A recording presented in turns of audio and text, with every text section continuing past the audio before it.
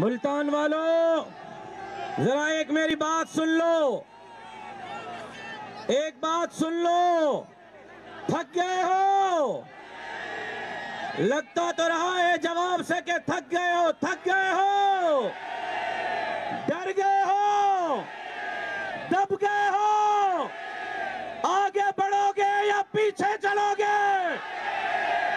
मरियम नवाज़ साहिबा की क्यादत में बिलावल भुट्टो की क्यादत में, मौलाना फजल रहमान के क्यादत में, मौलाना फजल रहमान की इमामत में, इमरान खान के इकतदार का जनाजा कौन कौन पढ़ेगा?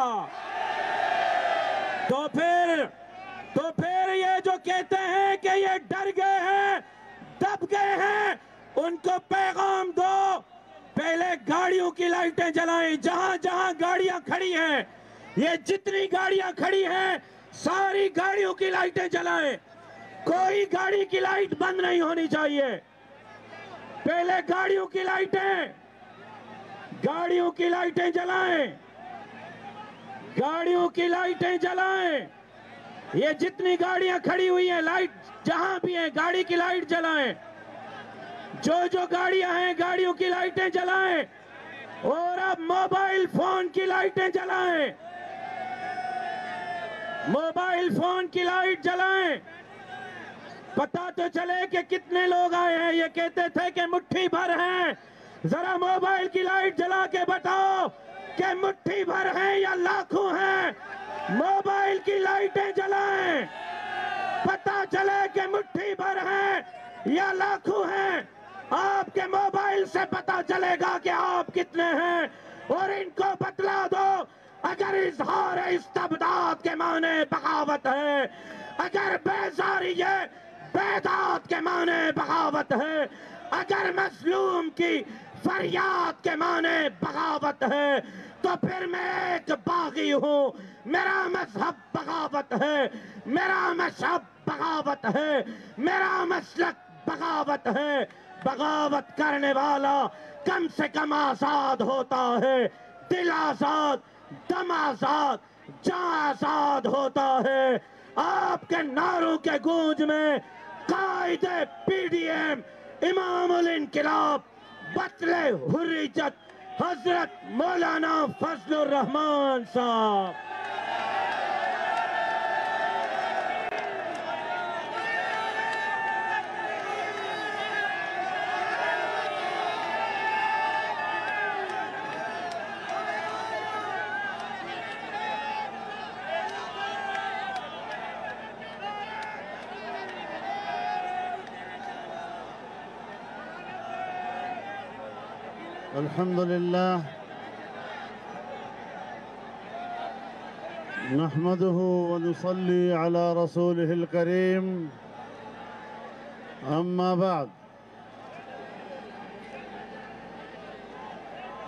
स्टेज पर मौजूद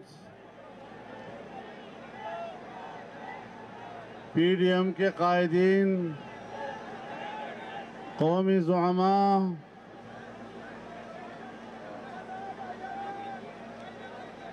मुल्तान के मुजाहिदों, मेरे दोस्तों और भाइयों, आज के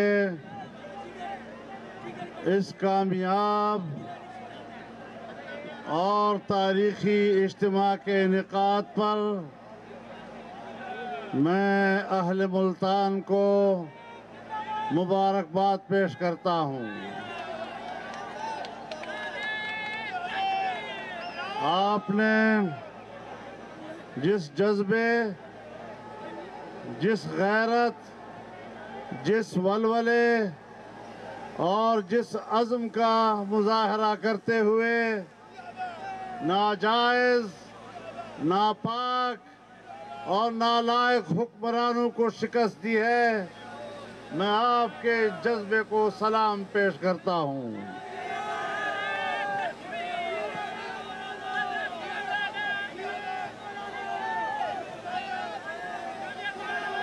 आज का ये इज्तम पाकिस्तान पीपल्स पार्टी के योम तासीस की मुनासिबत से हो रहा है। मैं उनका शुक्रगुजार हूँ। कि उन्होंने अपना योम तासीस उसको पीडीएम का प्लेटफार्म बनाया और इस पर मैं उनको मुबारकबाद भी देता हूँ, उनको, उनका शुक्रगुजार भी हूँ और आपको बताना चाहता हूँ, आप गुजश्ता एक हफ़्ते से हुकूमत के हथकंडे देख रहे थे। किस तरह उन्होंने मुल्तान के शाहराहों, मुल्तान के चौराहों को बंद किया, कंटेनर लगाए। यहाँ हमारे कारकुनों को मुख्तलिफ़ अजला में गिरफ़्तार किया। मुल्तान में हमारे मुख्तलिफ़ पार्टियों के कारकुनों को गिरफ़्तार किया। जनाब गेलानी साहब के बेटों को गिरफ़्तार किया, उन पर तशद किया, लेकिन कल हमने एक प्रेस कॉन्फ्रेंस में उनको सिर्फ़ डंडा दिखाया है। एक डंडा दिखाया और फिर दुम दबाकर भाग गए। ये इनकी औकात है। अगर इनमें रत्ती बराबर कोई हमीयत कोई शर्म, कोई गैरत है तो चाहिए कि चुल्लू भर पानी में इनको डूब भरना चाहिए।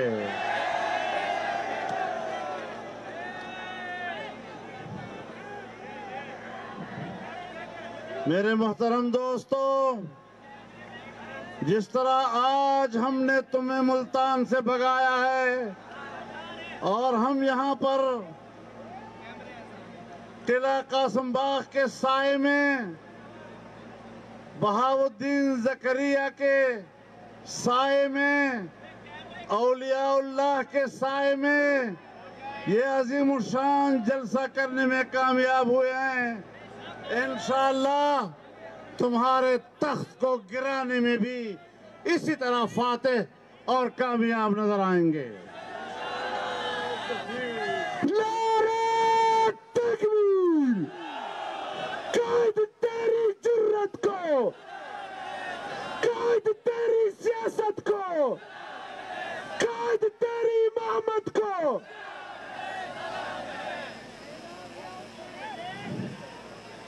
इनका ख्याल ये है कि ये गीदड़ भभकियों से डर जाते हैं।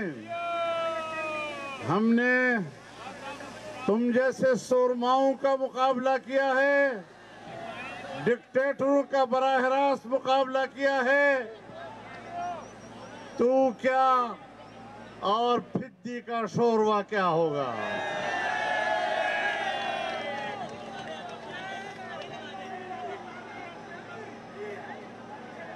आज हमने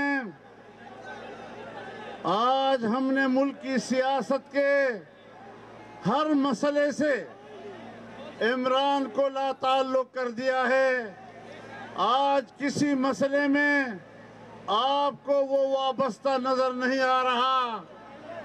बस कहीं आईएसआई के दफ्तरों का दौरा करता है, कहीं वो कहीं वो छावनियों का दौरा कर रहा होता है और अपने गब्बे के घर के तवाफ करके दिखाता है कि शायद मैं महफूज हूँ। आप महफूज नहीं हैं। आप महफूज नहीं हैं।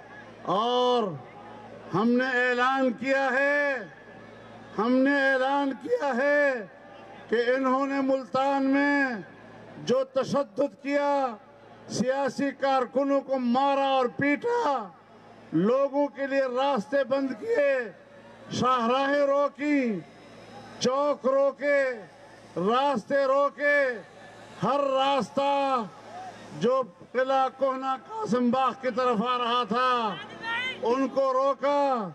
हमने कल ऐलान किया कि इस पर जुमे के रोज और हफ़्ते के रोज पूरे पाकिस्तान के तमाम अजला में एहतजाज किया जाएगा। एतवार को भी एहतजाज होगा, जुमे को भी एहतजाज होगा। और आज मैं दूसरा पैगाम देना चाहता हूँ। पूरे मुल्क के कारकुनों को पैगाम देना चाहता हूँ। हर ज़िले के जिम्मेदारों को पैगाम देना चाहता हूँ।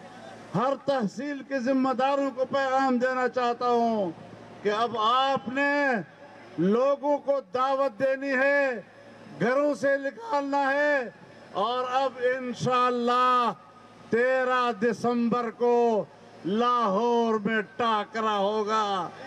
इंशाल्लाह लाहौर में अब हम मिलेंगे। लाहौर में इंशाल्लाह आखिरी कील साबित होगा इनके लिए। वहाँ से इनका जनाजा निकलेगा।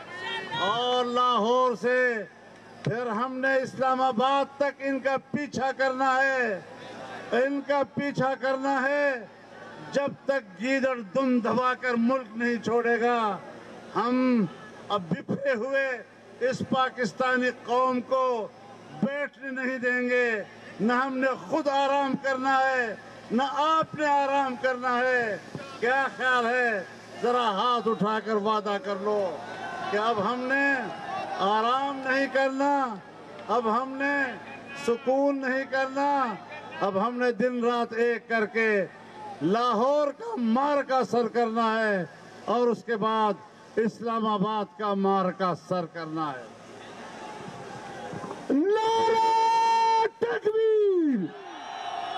कायद कदम बढ़ाओ। कायद पीडीएम कदम बढ़ाओ मेरे दोस्तों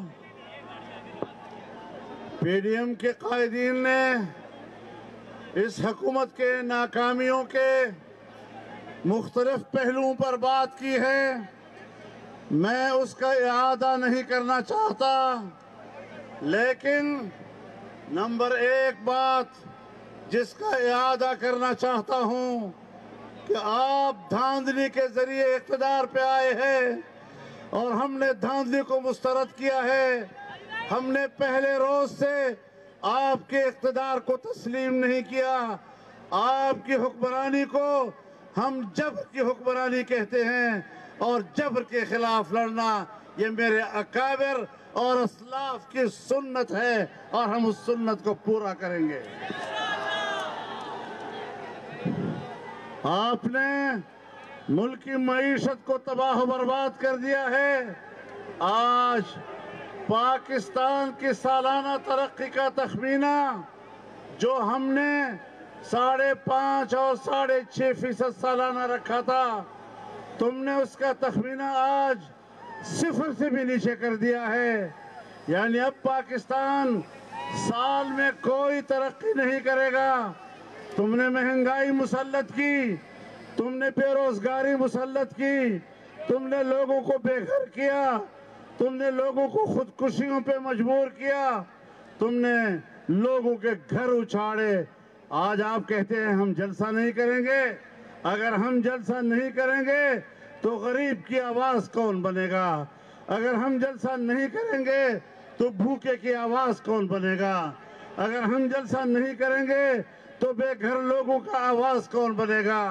अगर हम जलसा नहीं करेंगे तो नौजवानों की बेरोजगारी की ज़ुबान कौन बनेगा? हमने इस वक्त पूरी कौम की, पूरी कौम की नुमाइंदगी करते हुए मैदान में आए हैं। तुम्हारी खारजा पॉलिसी नाकाम है। तुमने तुमने हिंदुस्तान के मोदी को कश्मीर हवाले किया, और आज तुम फिलिस्तीन की सरजमीन को यहूदियों के हवाले कर रहे हो। तो हमने सच कहा था ना कि ये यहूदियों का एजेंट है।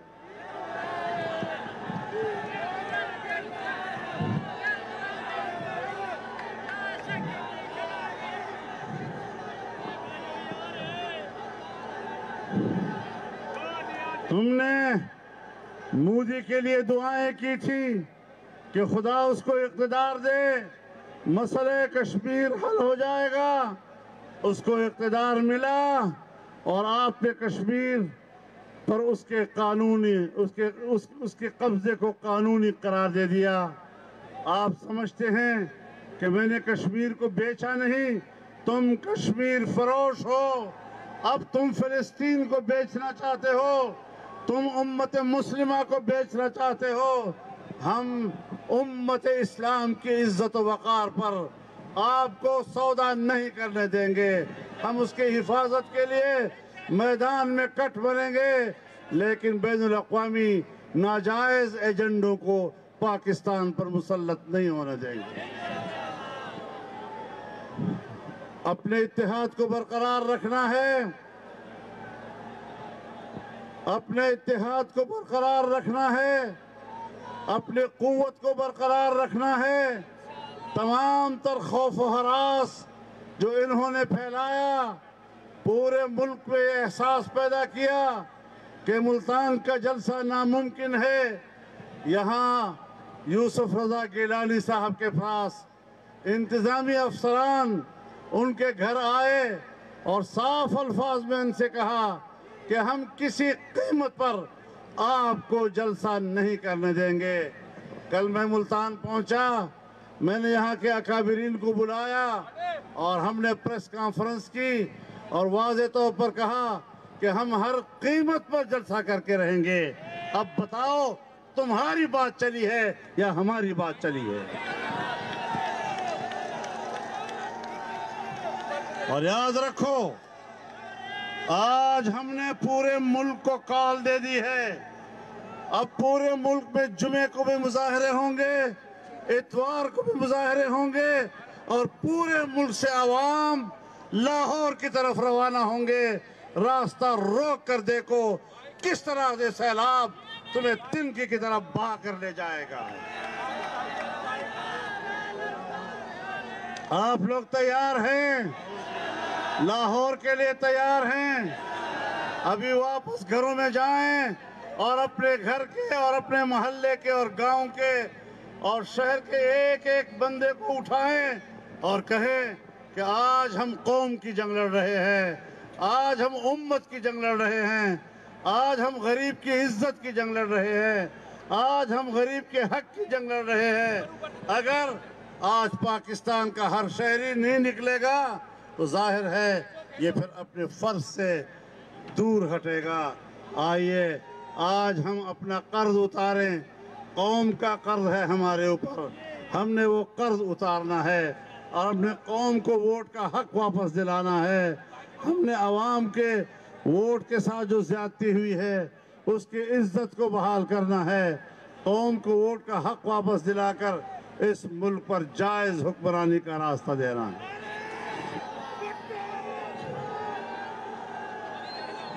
हम बड़े एहतियात के साथ हम बड़े एहतियात के साथ आगे जाना चाहते हैं। हमारी शराफत और हमारी तहजीब और हमारी सियासी अखलाकियात, इसको कमज़ोरी न समझा जाए। हम बहुत आगे जा सकते हैं, लेकिन अभी हम सिर्फ़, हमने सिर्फ़ डंडा दिखाया है। इससे आगे मत जाना चाहिए हमने डंडा दिखाया है। हम बहुत बुरी तरह तुम्हारा अंजाम कर सकते हैं। हमें इश्तिहार मत दिलाओ। हम तहमुल के साथ इस पाकिस्तान को चलाना चाहते हैं। इस पाकिस्तान को दुनिया में इज़्ज़त वक़ार देना चाहते हैं। इस पाकिस्तान को मुस्तहकम करना चाहते हैं। इनके इदारे मुस्तहकम हों, लेकिन एक बात वाज रहे कि हमारी इस्टेब्लिशमेंट तो ताकतवर हो, लेकिन वो हमें कमज़ोर करें तो ये सौदा नहीं चलेगा।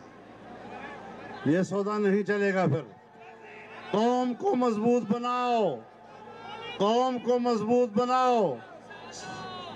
अवामी इदारों को मज़बूत बनाओ। पार्लियामेंट को मज़बूत बनाओ। और इस पाकिस्तान को माशी लिहाज से ताकतवर बनाओ। अल्लाह ताला हमारा हामी नासर होगा।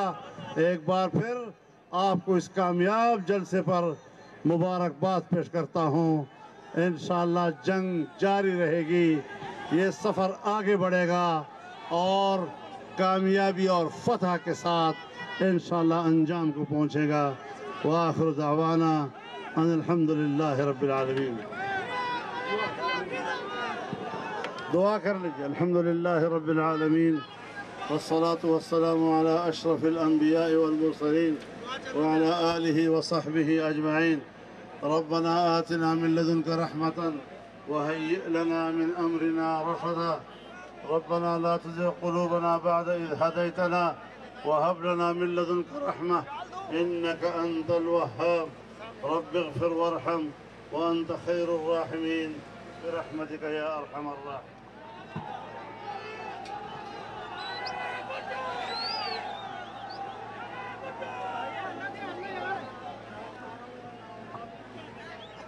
अहले मुल्तान जिंदाबाद